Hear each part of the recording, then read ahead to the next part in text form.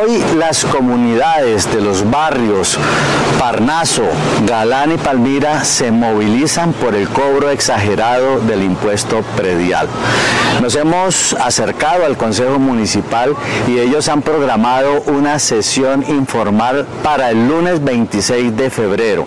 Invitamos a todas las familias de los barrios afectados para que este lunes a las 4 y 30 de la tarde nos acerquemos al Consejo Municipal y dialogamos, dialoguemos con la Secretaría de Hacienda y hagamos unos acuerdos para evitar este cobro excesivo y abusivo del impuesto predial.